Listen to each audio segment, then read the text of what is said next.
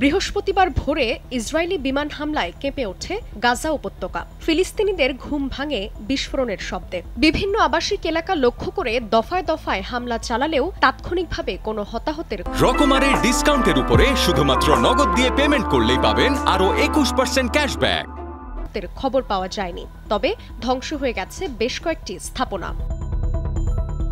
গাজার ঘনবসতিপূর্ণ এলাকায় বেসামরিক নাগরিকদের লক্ষ্য করেই ইসরায়েলি বিমান থেকে হামলা চালানো হয়েছে বলে দাবি করে ফিলিস্তিন কর্তৃপক্ষ।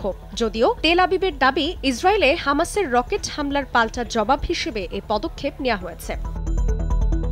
এর আগে হামাসের বিরুদ্ধে বুধবার রাতভর ইসরায়েলের দক্ষিণাঞ্চলে ছয়টি রকেট হামলা চালানোর অভিযোগ তোলে তেল আবিব। এর মধ্যে অন্তত পাঁচটি রকেট ভূপাতিত করা হয় বলে জানায় ইসরায়েলি সেনারা।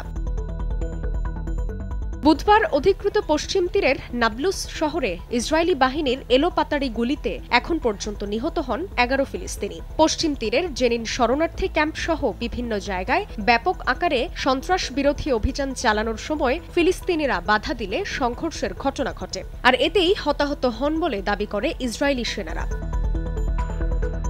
সম্প্রতি পশ্চিম তীরে ইসরায়েলিদের অভিযানে আগের তুলনায় বেড়েছে নিরীহ ফিলিস্তিনিদের প্রাণহানির ঘটনা। চলতি বছর এখন পর্যন্ত শিশুসহ ষাট জনেরও বেশি ফিলিস্তিনি নিহতের ঘটনা ঘটেছে। জান্নাতুল সাদিয়া, সময় সংবাদ।